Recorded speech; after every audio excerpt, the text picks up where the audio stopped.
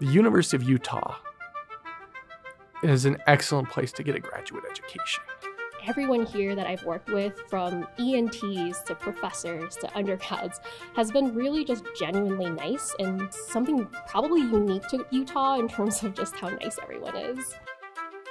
There's a great community of graduate students. If you don't know something, there's somebody around that does. There's just so many resources on campus that the grad school provides, but also research opportunities that are prevalent in order to do something creatively valuable, you need to have time to think every day. I wrote a proposal and I submitted it to the graduate research committee and they gave me a fellowship that I could actually start working on my dissertation without thinking about financial burdens.